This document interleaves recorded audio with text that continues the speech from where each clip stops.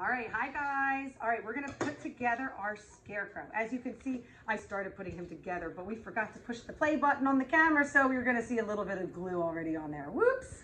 All right, anyway, so we have our bag and all of our pieces for our scarecrow. Remember we made the puppets for the farm animals? Well, we're gonna do the same thing, but it's gonna be a scarecrow. So make sure the little flap is this way so that you can make your scarecrow talk. All right, and then you're gonna cut out your hat. I was describing before that make sure your thumb is up and you're using your helper hands to cut around the hat. And you're using your helper hand to help you turn the paper. So that way your right hand, if you're right-handed, you're gonna stay on the right side of the paper. And if you're left-handed, then you're gonna stay on the left side of the paper and turn it as you cut. All right, now we're gonna put on the scarecrow's head. I put a little bit of glue already, but I'm just gonna put a little bit more so our scarecrow can stick onto the flap, circular head. And we're gonna put a little bit of glue here. Again, if there's some color that you're seeing, it'll dry clear, so don't worry about all that purple mess there. Okay, and then we're gonna put on his triangle nose. Oops, It has one, two, three. It's a triangle. It has three sides and one, two, three points. And we're gonna use that for his nose.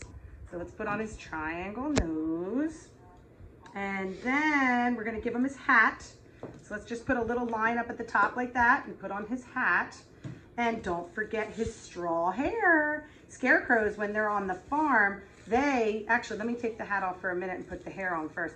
They are made out of the straw or the hay that the horses eat. So that's what we, we gave you, something that looks a lot like hay. And do you know who else likes to eat hay? Yes, it's Snowball. Snowball likes to eat hay. All right, so here's our scarecrow, and I'm actually gonna use some of our Elmer's. If you have Elmer's glue at home, that might be better to making our hay stick on the hair, the hair for the hair scarecrow.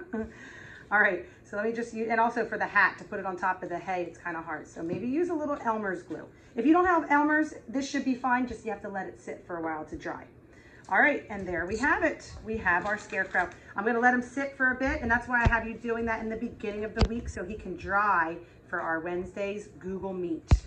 All right, have a good day. Bye.